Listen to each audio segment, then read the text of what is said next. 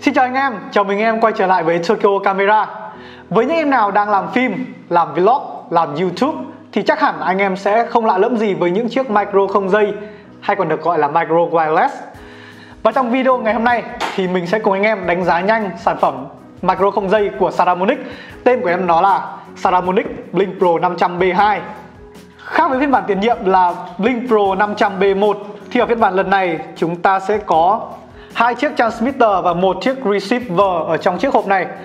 Nói về chiếc case này thì mình đánh giá rất cao Saramonic vì đã hào phóng cho chúng ta một chiếc case có dung lượng lên đến 2000 mAh và chúng ta có thể sạc hai lần với mỗi sản phẩm ở trong một chiếc hộp này.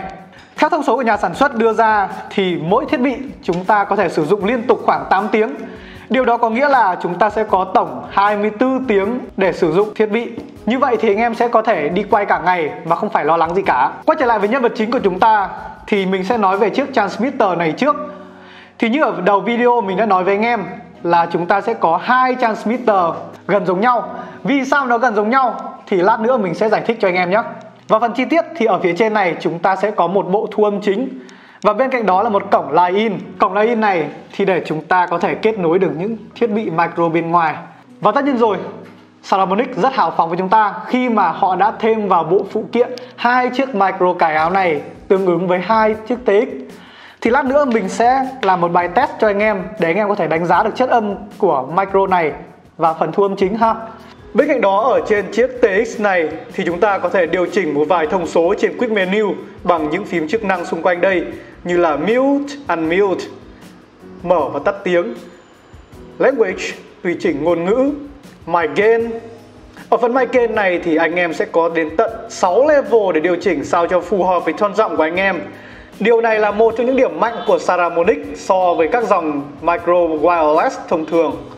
Tiếp đến là bộ nhận tín hiệu chiếc RX này ở trên đây thì chúng ta sẽ có một cổng layout để có thể kết nối với máy ảnh của chúng ta qua một jack 3.5 và trên màn hình này chúng ta có thể theo dõi được thông số cũng như là trạng thái của hai chiếc micro như là về thời lượng pin, âm lượng, trạng thái bật tắt, mic gain hay là chế độ thu.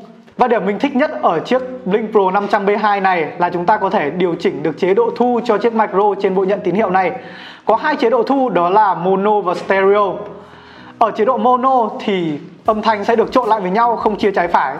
Còn chế độ stereo thì chúng ta có thể điều chỉnh được chia trái phải. Và để rõ hơn thì bây giờ mình sẽ đi đến bài test cho anh em, để anh em có thể cảm nhận nhé. Let's go! Và sau đây sẽ là bài test để cho các bạn thấy sự khác nhau giữa hai chế độ mono và stereo.